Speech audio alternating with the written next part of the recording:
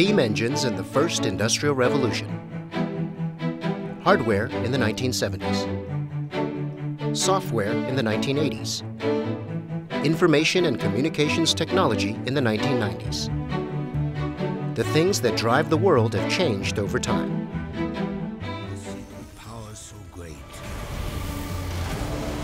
The key growth engine of the 21st century is none other than contents.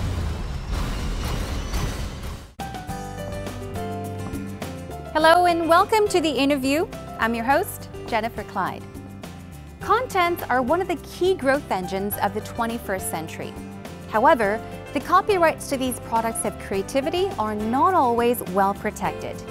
Perhaps that is why we need the contents police and it is the Motion Picture Association, also known as the MPA, that does this. Well, today's guest is Mike Ellis, the president of the Asia Pacific region for MPA, and he has paid a visit to Korea. So stay tuned to meet today's guest, Mike Ellis. Illegal distribution of media contents is happening all the time, even at this moment. The financial losses to the film industry due to copyright infringement in 2014 were 21.1 million US dollars.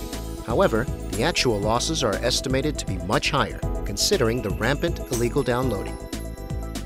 There is an organization that is dedicated to copyright protection alongside the international community. It's the Motion Picture Association of America, or MPAA for short.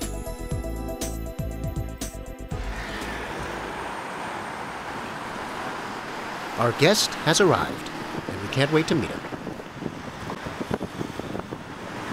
Joining us today is none other than Mike Ellis, the President and Managing Director of the Asia Pacific region for the Motion Picture Association. Hi. He is visiting a cinema complex in Seoul to see the latest trends in the Korean film industry firsthand.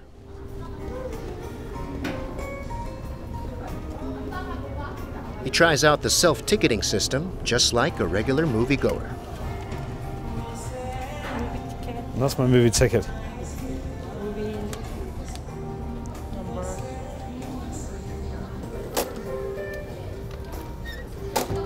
He takes a close look at even the small decor items. Ah, okay, so you can actually keep it like a souvenir. Snacking and movies go hand in hand, of course. You actually said um, wine? wine. Very interesting packaging. So alcohol and soft drinks and popcorn. Perfect. He doesn't forget to check all the movies that are currently playing in Korean theaters.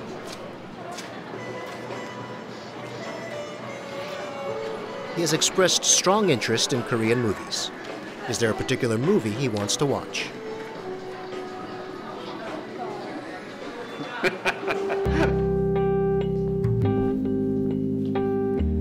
this place, exuding a luxurious atmosphere, is a special theater. It's for VIP guests and can be rented to host a small party.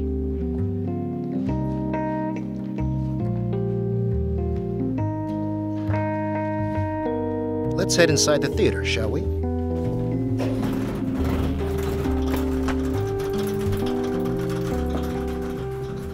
Why is it so dark in here? What's going on?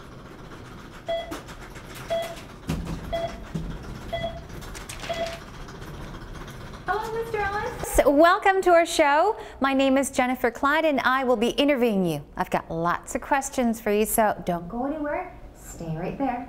Right there.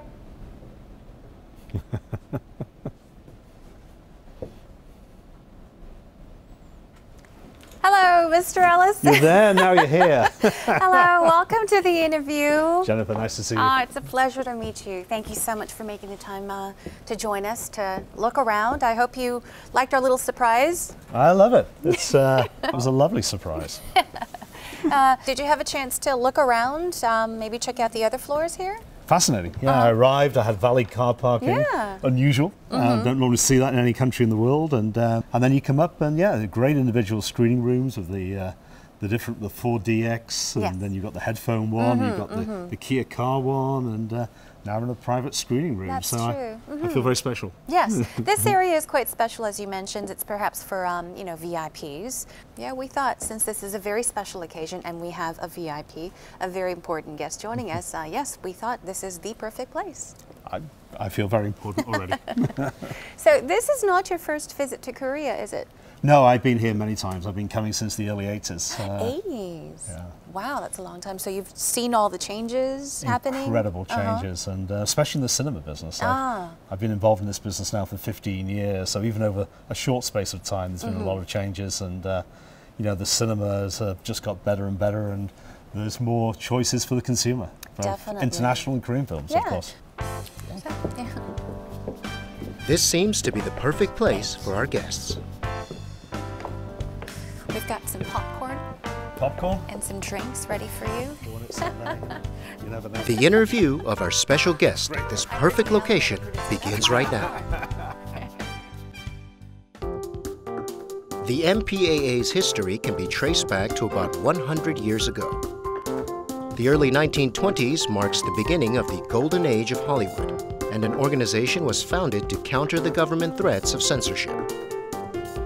The members of the MPAA are the top six major film studios in Hollywood. The MPA, with its operations based in Washington, D.C. and Los Angeles, has four branches and has partnered with content protection organizations in over 30 countries. The MPA provides assistance in film distribution and promotion in partner countries and plays a diplomatic role to advance the global film industry. One of its main focuses is on copyright protection. Together with governments and related international organizations, the MPA plays the role of global contents police, tracking and blocking illegal download sites, proposing bills to ensure copyright protection, and more. Now, it's been nearly 100 years uh, since MPA was established. Have the key tasks undertaken by the association changed over the years?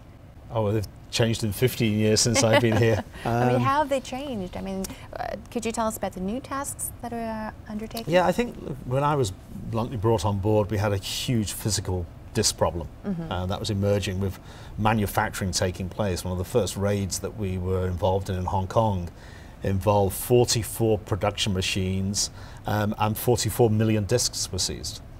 Um, and they were being not only used in Hong Kong but exported overseas as well. Um, and we found that organised crime was involved, and um, it- you know it's a different type of operation.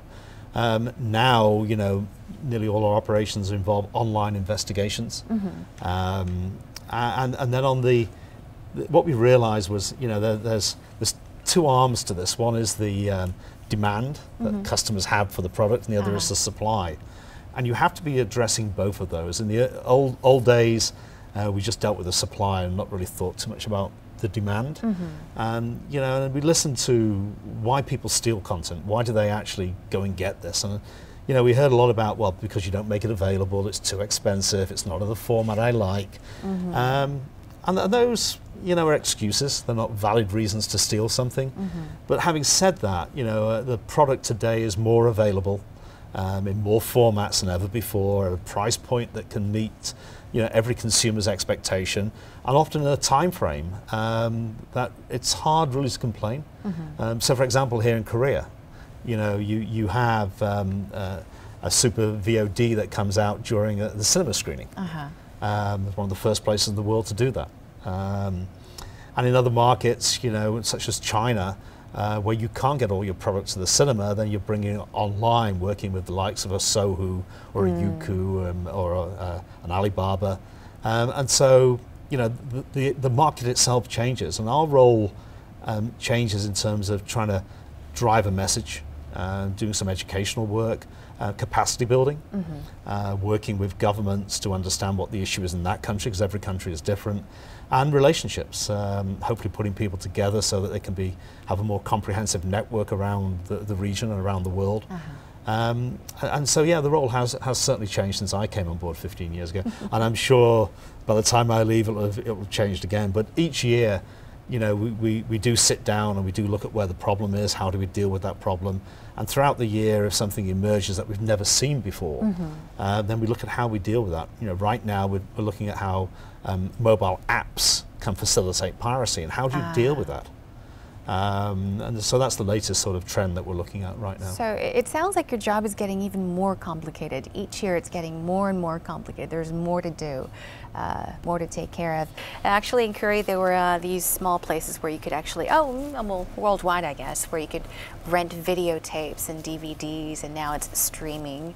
Um, it's a lot easier to get your hands on things these days, of course. It's um, on the on the positive side, it's much mm-hmm. easier legitimately to get the content. Right. Um, we're making the product more available um, in the format that people like, mm-hmm, a time frame mm-hmm. they like, and, the, and, I think at a good price point where it's you know it's seen as value for money.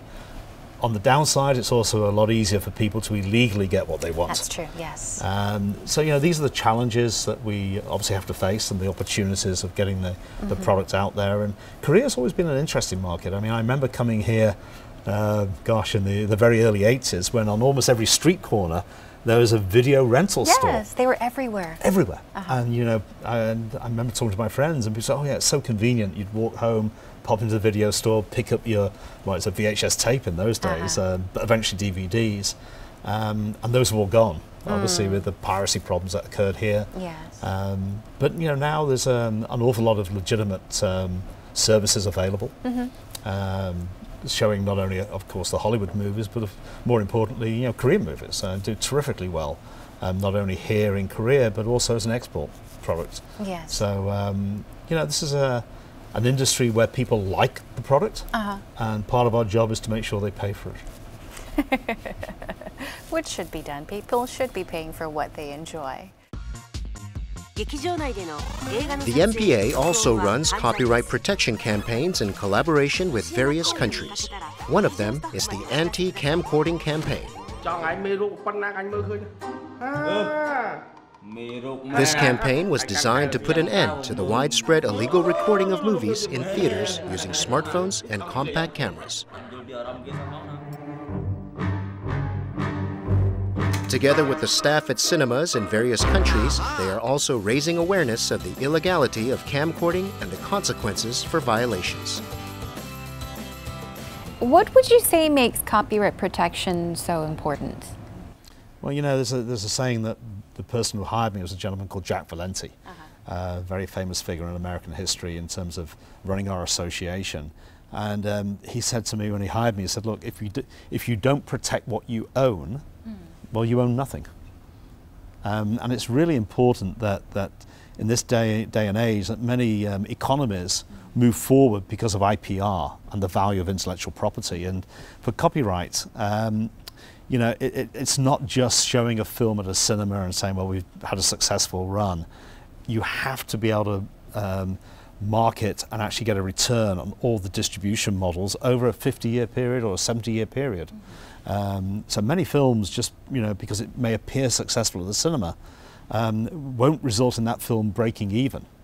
And at the end of the day, um, you know, it's really, of course, it's, it's really important that the films do make money.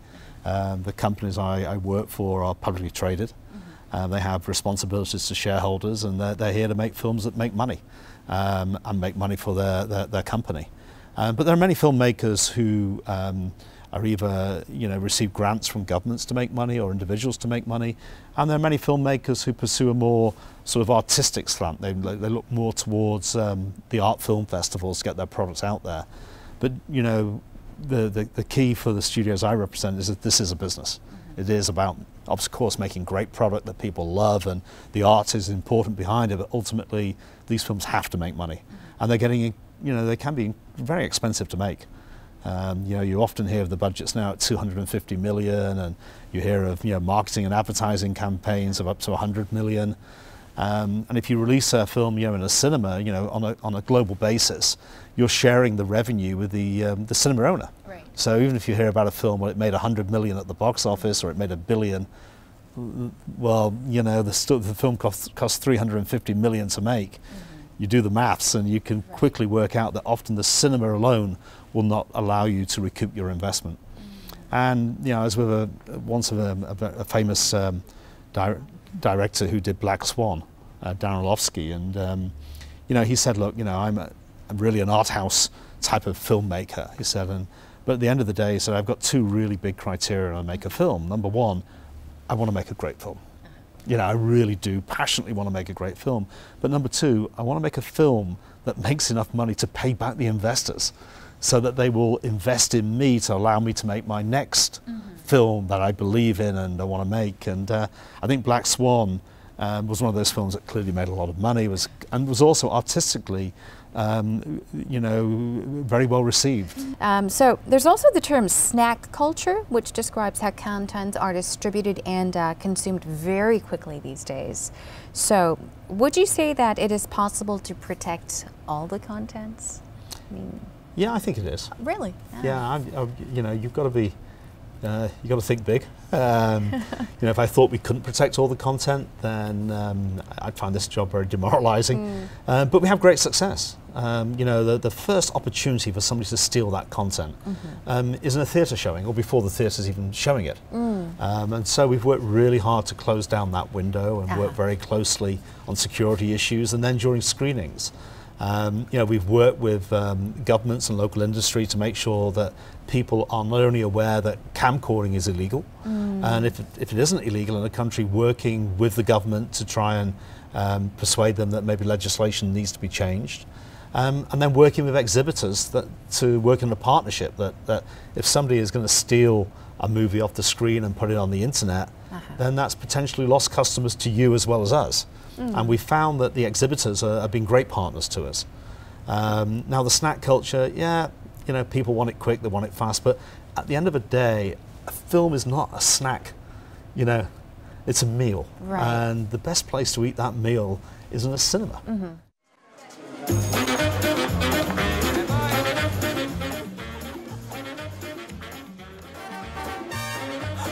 Another campaign run by the MPA is Thank You Campaign. Through this campaign, messages of gratitude are conveyed to people who consume contents legally. Thank you. Thank you. Thank you. This type of positive reinforcement is said to have been much more effective compared to the previous campaigns that advised people to stop downloading illegally. Xin cảm ơn. Xin cảm ơn. Xin cảm ơn.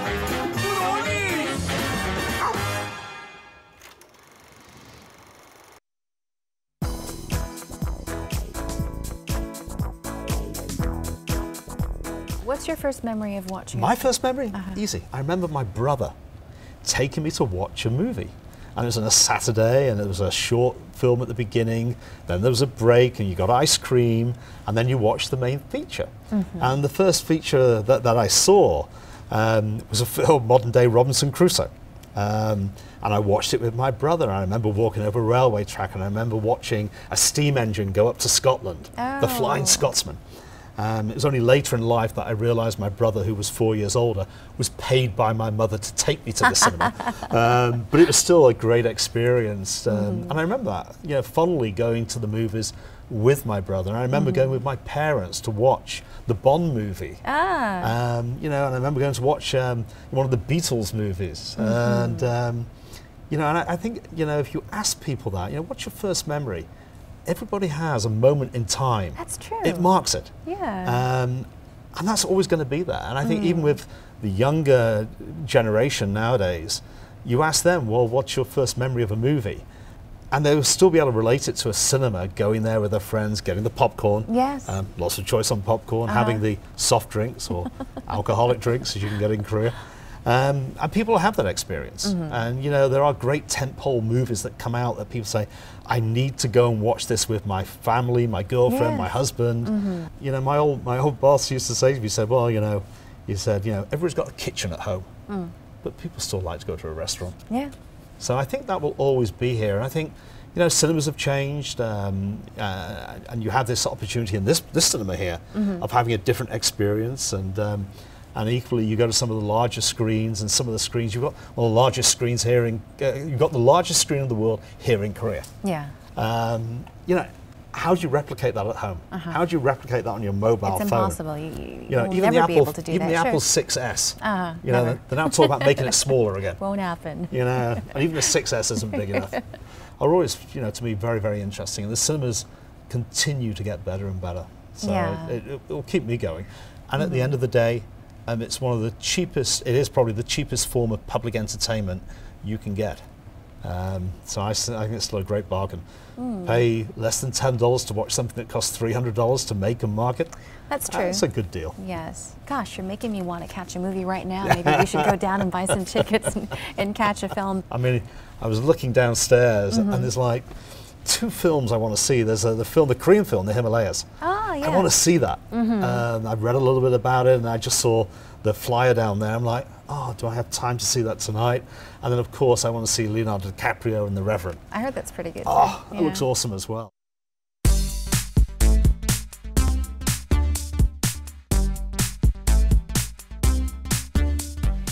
Now, I'm aware that MPA is interested in the advancement of the film industry in the Asia Pacific region. Could you tell us a bit about that? I think um, know, one of the most important things, it's not just about the Hollywood films. It's about films in general. When people come to a cinema, they want choices. Um, and hopefully our choices are, that we put out there is a good one. So we work on um, you know, trying to work with local industry and young filmmakers to give them opportunities. I see. Um, so we do this, you know, at various um, film festivals, um, and, and hopefully, you know, the product that they're making will find not only an audience in their own country, but start to expand out across Asia and into other countries across the world. But is there a specific reason or, or a, a special reason as to why uh, you have this particular interest in the Asia Pacific region? Um, Well, I think you know, first of all, there's an emerging middle class, so there's more people come to the cinemas, and I think some of the um, the talent coming out of here is producing product that um, is applicable across the Asia Pacific region. So there's a lot of cross pollination going on, but also there's becoming an awareness overseas um, of what you know the Korean or, or Japanese or Chinese filmmakers can actually do. So it's not just about your your own country or even the Asia Pacific region. Um, and I think. Um, you know, films are dynamic, they're exciting. If you think back 20 years ago how the films looked, you look at the, how they look now, and I think there's a, a certain spice and culture to every indigenous filmmaking uh, that takes place, from Korean to Japanese. You, you know you're watching a Korean film, and you see aspects of that mirror across. I was, you know, the other day watching um, The Lady from Shanghai, an Orson Welles film, and you see aspects of that film appear in Bruce Lee films, you see it appear in Bond films. ah, yes. And uh, I think we all can all learn from different filmmakers. yes, definitely.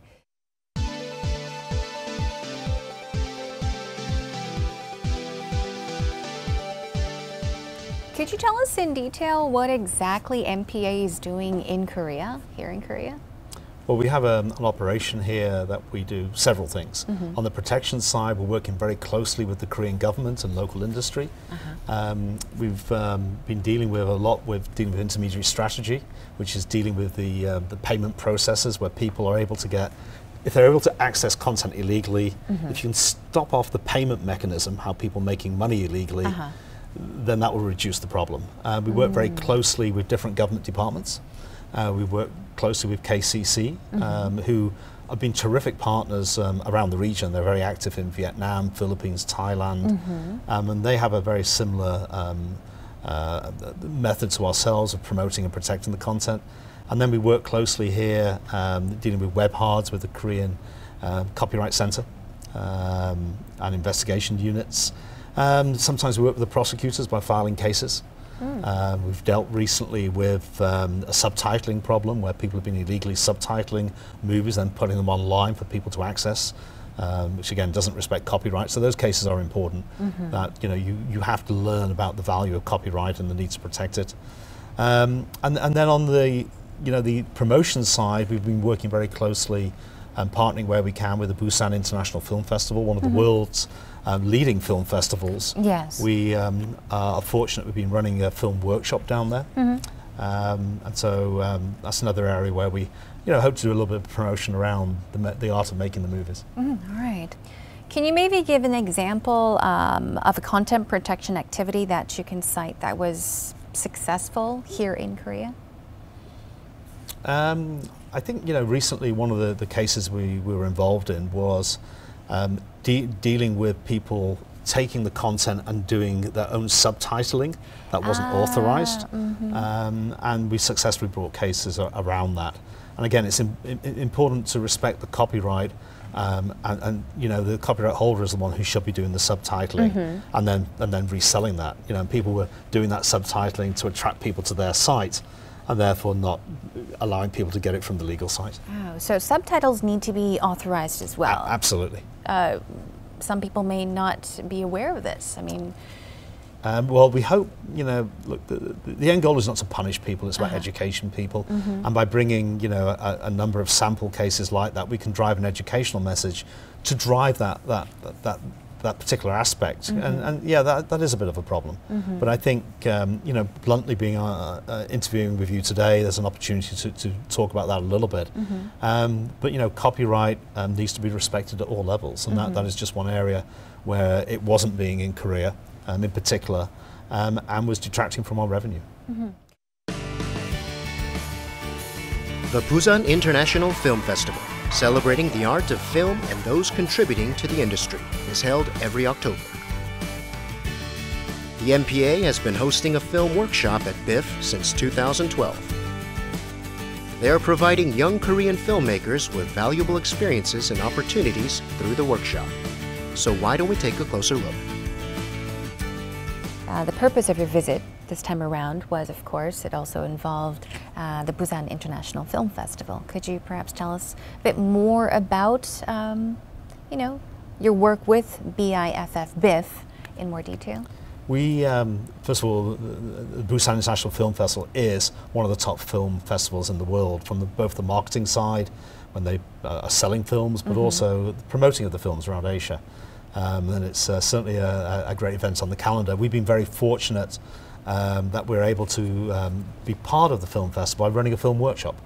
Um, and we do that together with um, the Busan International Film Festival committee. And we run a, a- a short film workshop. It's about a day and a half where we bring in international filmmakers and, and we uh, are able to s- get local filmmakers, um, either directors or producers, to do some teaching and knowledge sharing with young upcoming filmmakers, be Oh, the directors or producers. Um, so we have a, a workshop and we uh, do some case examples, we do some mentoring around how to pitch a film, and then we run a small pitching competition. Uh-huh. Um, and the, we have a jury, um, and then we pick a winner. Um, and the winner, uh, the prize is, um, it's actually a very good prize. It's a prize for a, a one week trip to Hollywood to do a one week immersion course in how Hollywood works from meeting the guilds to pitching your movie to studios, wow. as looking at the agents, uh, being involved in the American film market. Um, and you're there together with winners from film competitions around the world. So it's a great networking opportunity. And th- I guess the goal there is not to say, look, we do it better than you. It's okay, take a look at what we do, come back and figure out what do you want to do. Um, and then we also run a second prize, which we normally bring one of the filmmakers down to uh, the Asia Pacific Screen Awards, which is held in Brisbane, which is an award festival that covers the whole of Asia Pacific. Um, and Korean films do very well there, and they win uh, prizes. Uh, last year, in particular, we had a best actor come out of Korea, uh, um, and the best uh, director got a special mention as well. Um, and so we take somebody down there as well. But it's a case of uh, sharing a bit of knowledge and giving somebody an experience that um, you can't buy. Right. and so by working together, what, what I find also is that the film teachers who come are, are professionals, they make their own films, and they love the ability to exchange information with the students, and they love the ability to work with um, Korean filmmakers, Oh, and then build um, a collaborative relationship. And uh, I am aware from some of the workshops we've run, we run these in, in China and Japan and Korea, um, that that has resulted in people purchasing the rights to some of the films being pitched. And um, I am aware that w- that work that some of the films are in development stage right now. Do you also do lectures at these workshops, Um, presentations? look, I'm, I'm not a filmmaker. um, I'm, a, I'm a policy guy. I'm an enforcer. So honestly, I, I'm, I normally do the opening speech. Um, I do some of the mentoring. Ah. Um, you know, pitching a film is, is like public speaking, um, but it's got to be very focused, and you've got to realise who your audience is and how you're going to get to that audience in a very, very short space of time. Um, so I'm part of a, you know, I do a bit of the mentoring with uh, other professional people who know how to mentor on a film, but I um, can normally teach a little bit about how, how to pitch something. I see. So you've been working together with Biff for quite a long time, and I mean, it just didn't start in the recent years, but it's it's been quite a long time since you've been working together. Yeah, I was I was very very fortunate that, that I think about eight years, gosh, about eight years ago now, um, CJ invited us down there to be part of um, a panel discussion about piracy. I see. Um, and you know, I did that for a couple of years, and then I, you know, it's always useful to get that message out there. But then I figured that we'd like to try and give something back that was a little bit on the creative side, a little bit different to what just talking about piracy and stealing content and. And, and so the idea of the workshop is something that we've been doing in other countries, and we figured that it, it could work in Korea. Um, I worked with Hannah Lee, who did um, Secret Sunshine. She was the producer behind that, an award-winning film down at the APSAs, and, and she helped um, determine what type of workshop would work in Korea. Because every country, again, culturally different. What works, what the Yes. students are, Uh-huh. um, and so we're not set on it has to be this format, and you have to follow this format. But the one thing that we are set on is we'll do a pitching competition, and there's a Mm-hmm. prize, and somebody gets to go and do something really That's exciting. wonderful, right? Um, and so the pitching concept is interesting because Mm-hmm. what I found in many Asian countries, it's not something that is comes naturally. Mm. It's not something you normally have to do, and so it's kind of um, fun to see people, you know, being taken out of their comfort zone Uh-huh. and to have to pitch a movie Mm. in front of their colleagues. Um, and I've been really encouraged by the results we've seen from that. Mm-hmm. Um, it's a f- it's a fun part of what we do, but it's also very serious because you know certainly in the Hollywood context, you're always selling your next film. right. Um, and I think, you know, in the film industry, it's very competitive. You've got to have an edge. So, you know, I hope the experience, um, the feedback is positive. positive, and certainly the, the people who go on the trips uh, give us very, very good reviews about the experience and um, the opportunity they're presented with to meet other people and uh, to just see a different part of the world and different part of the filmmaking industry. I'm curious. I mean, if you've been to BIFF several times, I'm sure you've seen many uh, Korean actors and actresses and uh, um, many important people in the industry. Uh, yes. Yes. Yeah. yeah. Um, look, I'm, I'm, I'm fortunate that, you know, look, I, I get to meet a lot of great people, a lot on the industry side that, that, again, are faces that would never be known to anybody. You know, people who work behind the scenes. Um, and I generally work behind the scenes. I, bluntly, I don't do many interviews. Um, I'm often the guy who tries to put the toothpaste, toothpaste That's back in the tube. I imagine you're doing Um, interviews everywhere. no, I, I, I, I, I don't do too many. Um, I, you know, I work a lot behind the scenes, but I, you know, look, I, you know, I meet a lot of Asian um, movie makers. Um, but I, you know, I, I actually like meet, meeting the producers, the people who put the deals together. Uh-huh. You know, because this is, this isn't easy to. First, it's not creatively easy to make a movie, but these people actually have to get the finance in, figure out the release pattern, get the director on board, figure out the actors. I mean, to me, they're the magicians who make this all work. Mm-hmm. And then you have, you know, these incredibly talented, you know, directors and actors and script writers. And Mm-hmm. um, yeah, there's, there's, there's a lot more than the people you see who walk the red carpet who are behind this. Mm-hmm. Um, you know, the red carpet, of course, is the fun part where you see, and, and Busan is one of the most glamorous film festivals you will see. Mm-hmm. There's an incredible lineup of uh, actors and actresses, and it, it's fabulous. And the venue is fabulous. But behind the scenes, there are you know other people who, who just won't walk the red carpet. They get up every day, they go to work, they build the, the sets, they stand behind a camera, they get the lighting Yes. sorted out, they change the batteries on a, on a camera when it runs out. Uh-huh. And these are the people who really help create the magic. Right. But And the we're ones very that don't fortunate. really get the spotlight. But yes. And then we are, and we have, Mm. uh, you know, again, as people who help protect the industry, Yes. this is a good industry to be involved in, to be Mm-hmm. employed in. And you know, the average wage of people employed in it is above the the, the, the, average. Mm-hmm. Um, and, and there's a you know there's a lot of people who depend on films being successful, Mm-hmm. and also you know depend on films not being stolen so they can keep making films. Yes.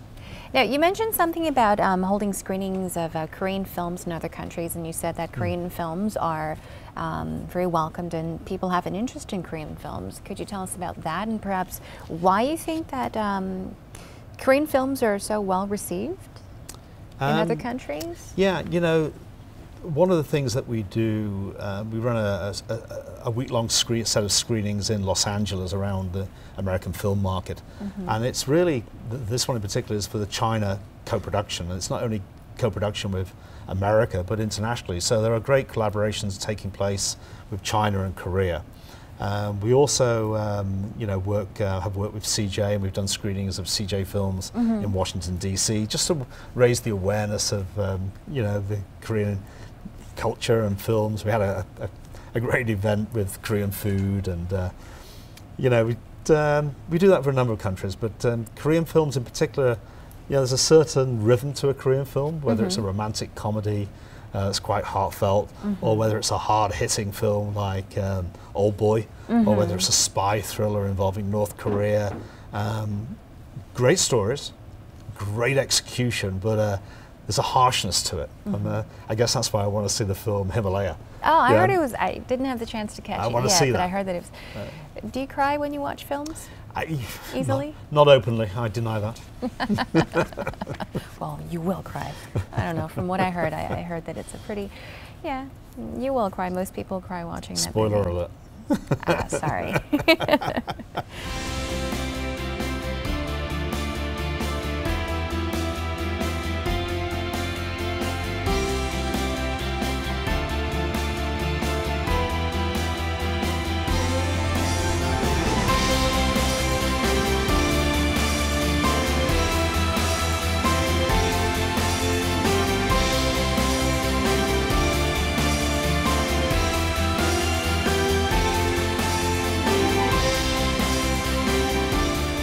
Uh, I just want to thank you today for, I don't know, for me personally, as I was listening to um, what you had to say about uh, what you do, your job, um, I, I've somehow gained more interest, uh, interest in movies, and now I'll, I want to go watch more and more movies, and I'm sure that our viewers are feeling that way as well. And I do want to thank you for perhaps making it a bit easier for us to understand um, more about MPA and what MPA does, because it's quite complicated. It's quite confusing. it could be at least, but thank you for making it very easy to understand. Um, I understand that you will be returning to Korea um, very soon. Uh, what will the purpose of that visit be? You know, it, I guess first of all, thank you for the opportunity to be here today. I don't, again, I don't do too many interviews, but this was a, a great opportunity, so I thank you for that. Um, and I thank you for saying you're going to go watch more movies. That's what everybody should do. Um, I love doing it. and I will always go to the movies. Um, but you know, it depends what our issues are. Um, I'll either fly through, uh, you know, in between countries, or I'll come here specifically to, to maybe the Busan Film Festival. Um, I do love going to that festival. It's um, you know, it's a very ritzy, glitzy uh, red carpet. And what I love about the festival, you've got this incredible arena that's been built just for the festival, Yes. and people actually stay and watch the film. People like to watch films, um, and it's great. Uh, it's a great environment. It's outdoors. It's fun. Um, the opening speeches aren't very long, which is always good. Um, but it's a lot of fun to watch a movie outdoors, and uh, so I hope to be back for that. But I, I you know, I'll, I'll pop back in, and uh, equally, um, I, I look forward to working with Korean filmmakers as they go overseas as well. Well, once again, thank you very much for your time. Um, yes, it was a lovely time, and I very much enjoyed this interview with you. Thank you very much. 감사합니다. 감사합니다. good. Okay, yeah.